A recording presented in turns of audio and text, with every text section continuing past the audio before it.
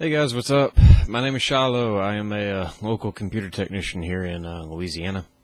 Some of you may know me as the uh, Dell guy or the Sony guy or the you know Dell printer guy or you know uh, whatever. Just uh, I'm a contractor and uh, I go out and service a lot of warranty machines and stuff like that. But uh, if you're watching this video and you recognize me, just drop down in the channel, say, hey, what's up? You know, send me a message or whatever. Excuse me, it's uh, 34 degrees uh, outside, and uh, I'm cold. My uh, home doesn't have very good insulation. I've got this giant convection heater going next to me. But um, I just really wanted to uh, start a little uh, tech uh, video log, I guess you could say. Um, I like uh, I like technology. I like electronics and stuff, you know, and uh, it's a hobby and uh, actually a part of my job as well. But uh, stuff does interest me, and uh, I like to help people. You know, I, I like to offer advice when I can. Of course, I don't know everything, but I know a lot.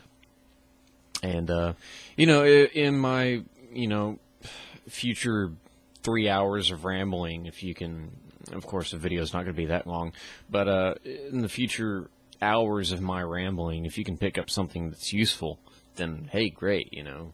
Um, if you got questions or something, just give me a holler, and uh, I'll try and get them answered for you. If I don't know how to answer it, I'll tell you. Hey, look, I don't know, but uh, this might be able to help you out. I'll do some research. You know, it'll help keep me sharp on uh, uh, all the technology stuff. You know uh, going through uh, doing some research because uh, most of being a technician is not what you know, but how well you research.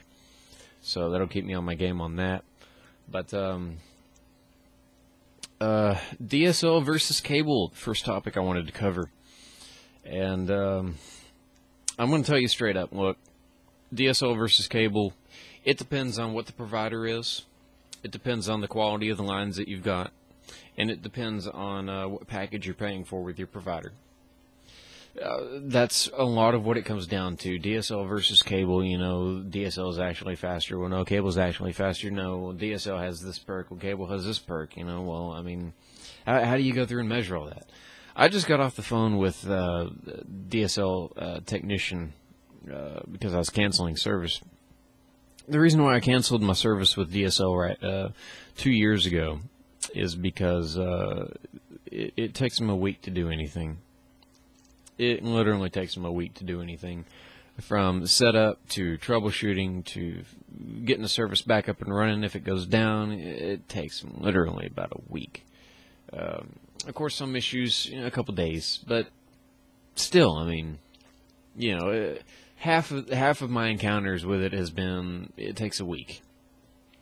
As for my current setup right now, um, I called them to have service set up.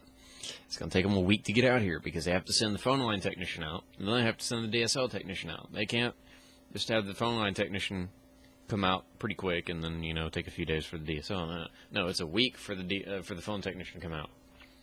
Okay, and um, I got fed up with it. I said, hey, you know what? Just forget this, cancel service. And and the guy that I was spoke, uh, speaking with, he was like, well, you do know that you know, uh, cable's 18 megabit service is actually comparable to our one and a half megabit service.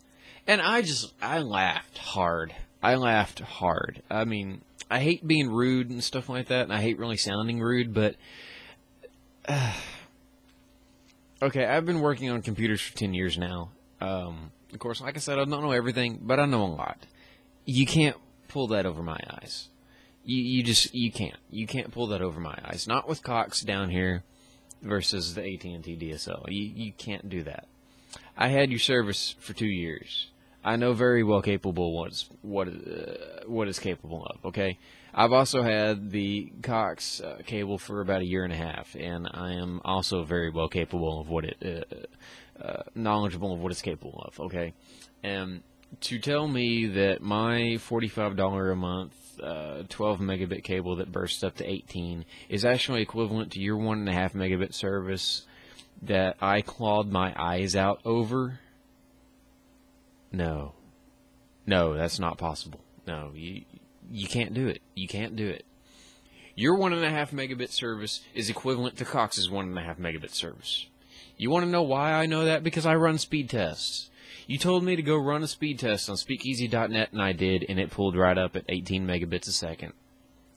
That's what uh, I closed the web page now, but that's uh, roughly equivalent to about 2.2 megabytes a second. No, you, you can't get 2.2 megabytes a second out of a 1.5 megabit DSL line.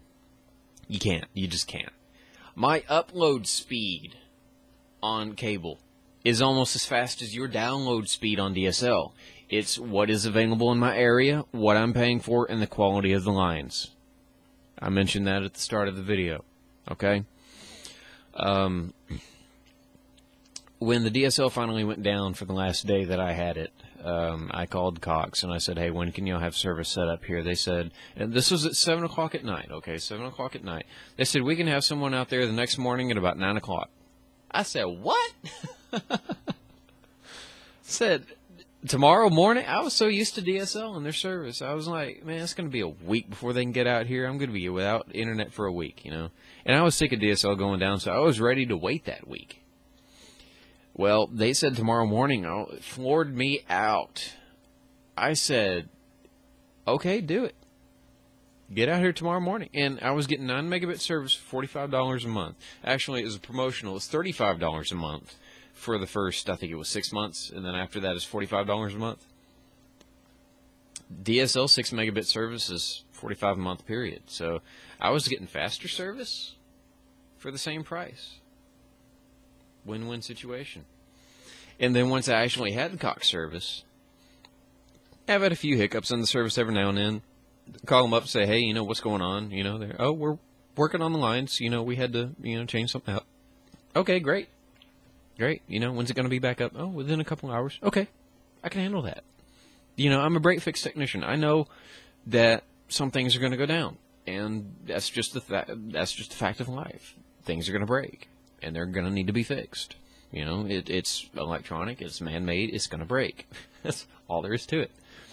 Hard drives are extra because they're mechanical too, except for the solid-state drives. But uh, mechanical hard drives have, you know, extra liability in there. They're they're moving parts are going to wear out. But um, I mean, he uh, he had the ignorance to tell me that our service was the same. I said, okay, apparently you don't know anything about the service down here because you're flat out wrong. And um, I said, I, I, ran a speed test just a few minutes ago, and I pulled the whole 18 megabits a second. I said, when I had your 6 megabit service, I was only getting 6 megabits. You know, you can't tell me that there is no difference between 100 kilobytes a second and 1800 kilobytes a second. You can't tell me that there's not a difference. of course, he was right though because he was reading from a script and I wasn't. You know that that seems to be the apparent issue with a lot of internet providers and a lot of tech support. You know, I've had my dealings with them before, and you know, it basically comes down to is they're the one reading from the script, therefore they're right. Okay. Well, in some cases, 18 megabit cable may be the same as one and a half megabit DSL, but don't proceed to tell me that it's the same for me because it's not. I mean, not in this area. Cable is top.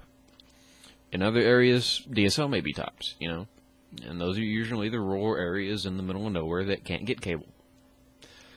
I might be a little biased, okay? I might be a little biased, but in my experiences and as a technician, you know, uh, if the cable company is doing it right, you will not notice that your internet drops speeds whenever everybody in the neighborhood starts to get on if they're doing it right.